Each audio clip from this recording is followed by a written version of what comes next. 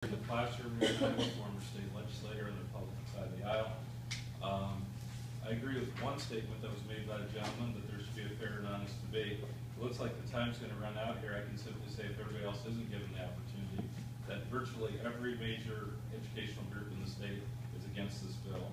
That virtually, we have a whole host of business organizations in Iowa that are against this, this bill.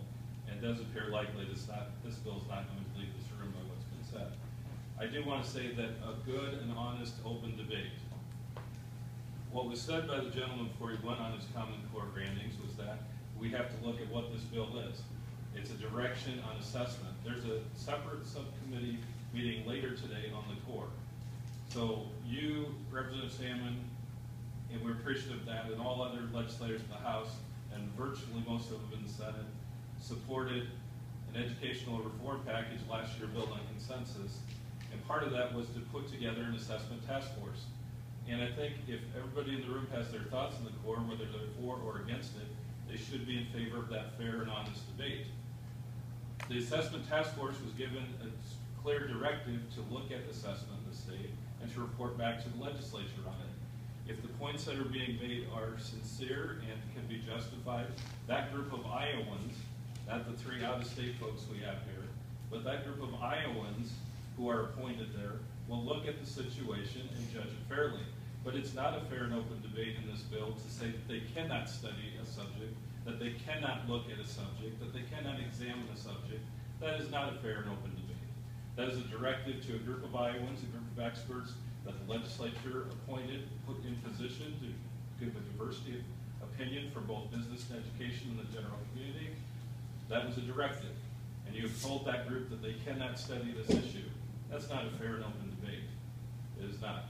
You look at what was said earlier, I just, a couple of items I would want to respond to. Again, to the item of of uh, breach of data. We have seen these emails going all over the place on this particular topic. Again, I simply say, and, and hi Shane, as you're taping, uh, please share one example in Iowa of a security breach of data by the Iowa Department of Education. Please share that real example.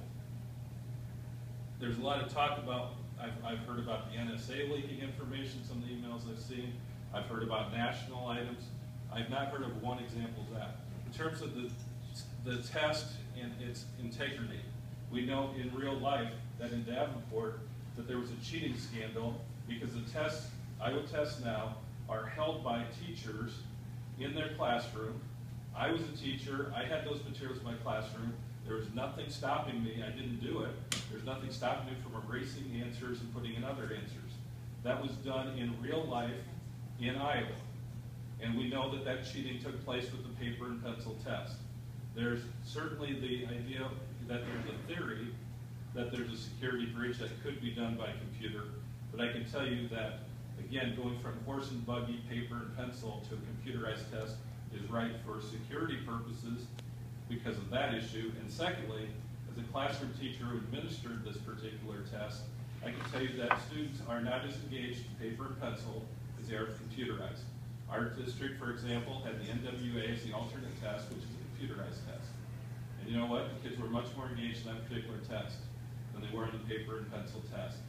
And I, I just simply heard the gentleman's talk about the Common Core expenses and granting his, I believe he said that over a 17-year period and one of the emails sent off, there would be $184 million spent on standards, something of that neighborhood over a 17-year period. If you looked at what's spent out in student aid to the districts of the state over the same period, at 0% allowable growth, which is not likely to occur.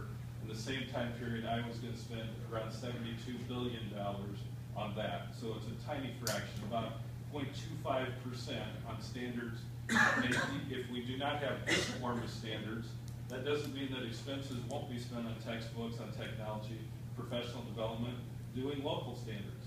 There are costs to that, and local districts will have to bear the brunt of those expenses as opposed to the state. There are many other items I could go on, but I simply believe that on this particular item, great respect, Representative Salmon, on so many issues we work together on. But this one, I will have to respectfully agree to disagree and believe that if we do want a fair and honest debate, You should not rip this away from the assessment task force. You should let them study it.